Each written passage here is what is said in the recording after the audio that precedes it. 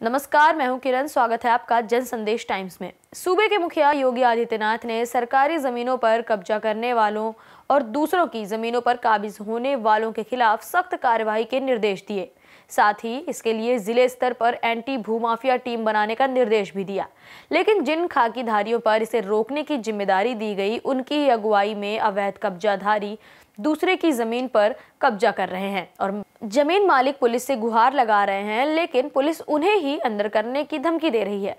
दरअसल मामला रायबरेली के गुरुबख्शगंज थाना क्षेत्र के ओनई पहाड़पुर का है, जहाँ गाँव निवासी मैकुलाल की भूमि धरी ज़मीन पर गाँव के ही दबंगों ने रातों रात निर्माण कर डाला और जब वे परिजनों के साथ थाने पहुँचे तो वहाँ मौजूद खाकीधारियों ने उन्हें उल्टे पाँव भगा दिया। पीड़ित न्याय की गुहार लगाने पुलिस अधीक्षक कार्यालय पहुँचा, जहाँ उसे उचित कार्यवाही का आश्वासन दिया गया। लेकिन हद तो तब हो गई जब ज़मीन पर स्टे होने के बावजूद भी पुलिस ने कोई भी कदम उठाने की जहमत नहीं उठाई। दरअसल गुरुबख्शगंज थाना क्षेत्र के उनई पहाड़ पर निवासी मैकुलाल की पावर हाउस के पास बेशकीमती ज़मीन है, जिसका गाटा संख्या तीन सौ छियासी और इसका रकबा तीन बिस्वा है। इस ज़मीन पर गाँव के ही कुछ दबंग कब्जा करना चाहते थे।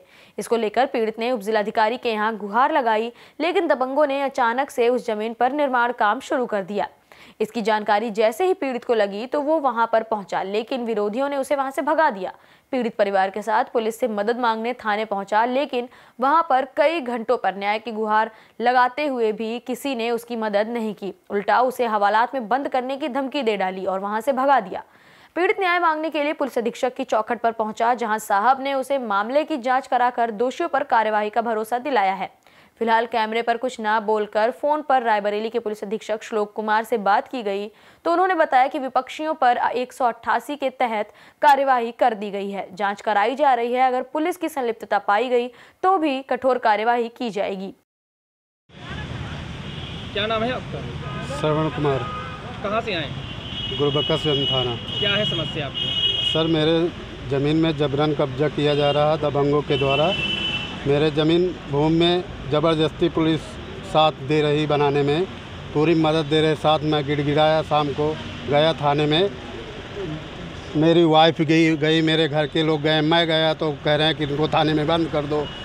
और उसके बाद मेरे घर के मेरी वाइफ गई तो उनको भी कोई सुना नहीं जा रहा रास्ते में तीन मैंने छः सात बजे ग्यारह बजे से लेके मैं सात बजे तक वहाँ गिड़गिड़ाता रहा लेकिन मेरी कोई सुना नहीं और ना मेरा कोई फ़ोन उठाया गया ना कुछ कोई बात सुनी गई। ऐसी ज़मीन है आप? ये मेरी आवंटन की ज़मीन है। क्या कोई आपके पास इसका प्रूफ है? जी है जी। है? जी जी जी। क्या स्टे भी आपको मिला है? जी स्टे भी स्टे के विरुद्ध भी न्यायालय का उल्लंघन करते हुए उसका भी पालन नहीं किया गया बोले कि ठीक है जहाँ जाना हो जाओ इसको हम स्टे उस्टे को कुछ नहीं मानते काम तो कर। विपक्षी पार्टी मुकेश मुकेश कुमार चंद्रभूषण सना। गए थे? जी। थाने गए थे? जी जी। थाने में क्या हुआ? थाने में मेरी सुनवाई नहीं हुई। बार बार मना करने पर पुलिस की मौजूदगी के पर वहाँ कार्य हो रहा था। किसकी मौजूदगी में कार्य हुआ है? अरे वहाँ पुलिस की मौजूदगी में। आज आप कहाँ पे आए हैं? आज हम एसपी ऑफ़िस आए हुए हैं। से मुलाकात हुई? जी। किससे? एसपी सर जी से हुई है। क्या आश्वासन मिला? आश्वासन मिला कि वो आश्वासन मिला कि उनके ऊपर उचित कार्रवाई की जाए। अगर न्याय नहीं मिलेगा तो क्या करेंगे न्याय नहीं मिलेंगे तो आत्महत्या कर लेंगे सर जी। हम हमारे वही तीन विश्वा ज़मीन है आत्महत्या कर लेंगे। अगर न्याय नहीं मिला हमको तो। अपने शहर से जुड़ी तमाम खबरों के लिए आप बने रहिए जनसंदेश टाइम्स के साथ।